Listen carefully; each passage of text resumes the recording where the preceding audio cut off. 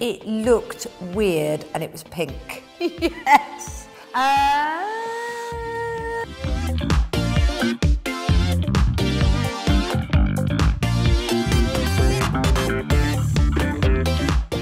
uh...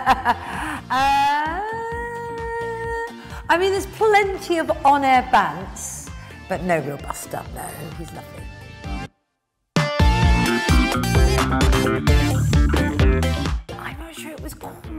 An all-nighter. There may have been a 20 minutes post-Brits when I was very young, pre-kids, but it had to be done.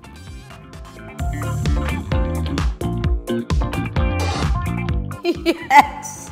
I've had many, many disasters on TV. Do we need to name them? Do we need to mention I did flash my pants live once on national television? Not ideal and not entirely my fault. I blame Ben Shephard. Yeah, I mean, endless disasters. I think that's the nature of live TV. Things will go wrong and usually they do with me.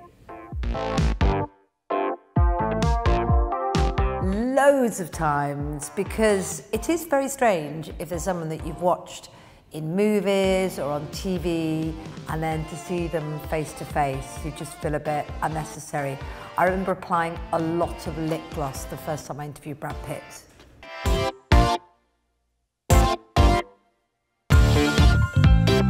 Oh my gosh, I've had so many red carpet fails.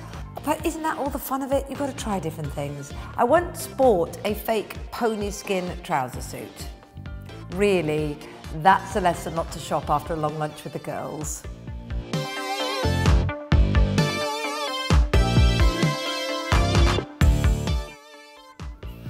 Yes, I'm not sure it's traditional fan mail. I got sent a lot of very weird things when I was pregnant, including a weird jelly-like tube, uh, which the sender suggested was great for when your breasts get a bit sensitive when they go bigger with breastfeeding. It looked weird and it was pink.